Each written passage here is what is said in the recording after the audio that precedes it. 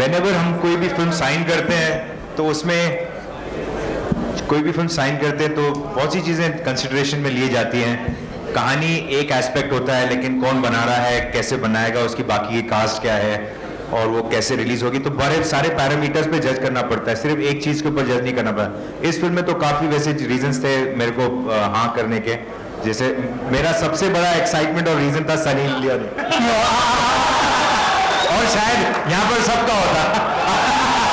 अगर आप लोगों किसी की को भी ऑफ़र होती फ़िल्म सनी के साथ आप सब करते हैं। मैंने भी किए। उसके बाद सारी चीज़ें, जैसे कहानी डायरेक्टर प्रोड्यूसर वो सब आप में आया।